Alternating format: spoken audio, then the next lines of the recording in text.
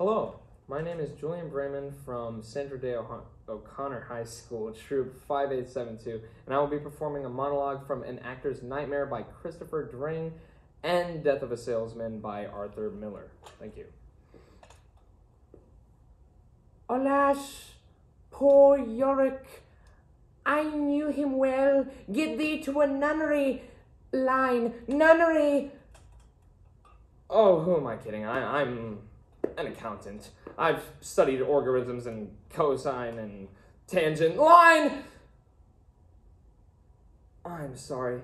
This is supposed to be Hamlet or no Private Life or something, and I keep on rattling on like a maniac. And I expected to see Edwin Booth, and now I have to go on for him.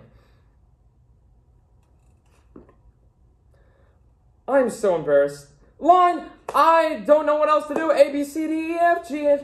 Oh, good, good. Are, are you, uh, uh, Ophelia? Um, go to the unknown. Oh, get, go, go in? Okay. Th- this must be one of those modern Hamlets. Listen, Willie, listen!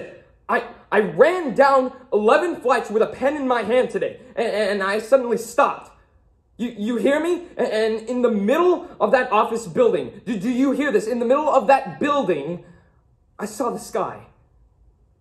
And, and I saw everything that I loved in this world the work, the food, and time to sit and smoke. And, and I, I was looking at this pen, and I thought to myself,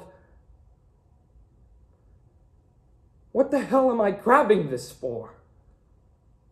What, why am I trying to become what, what, what I don't want to be? What, what am I doing in an office making a contemptuous, begging fool of myself when all I want is out there waiting for me the minute I say I know who I am? Why can't I say that, Willie?